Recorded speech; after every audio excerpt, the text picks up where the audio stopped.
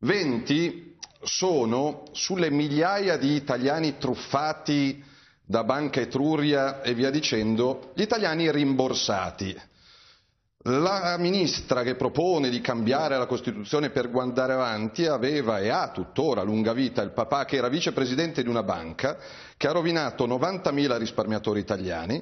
Io ricordo il signor Luigino D'Angelo, 68enne, pensionato Enel, suicida a Civitavecchia l'anno scorso perché Banca Etruria gli aveva mangiato tutti i risparmi.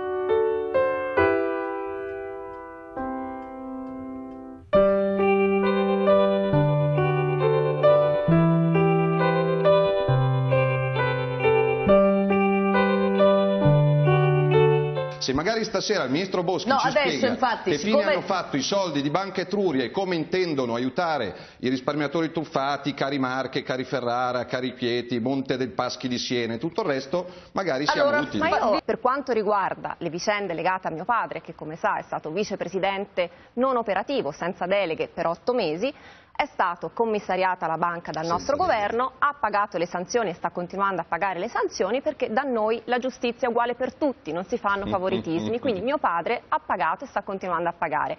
Per quanto riguarda i eh, diciamo, obbligazionisti, che sono di Banca Etruria come di tante altre banche, perché ora Salvini non mi faccia credere che tutto il problema del sistema bancario italiano è una piccola banca territoriale come Banca Etruria, altrimenti possiamo parlare di quelle del Beh, Veneto, spieghi possiamo parlare di tante tutto. altre banche.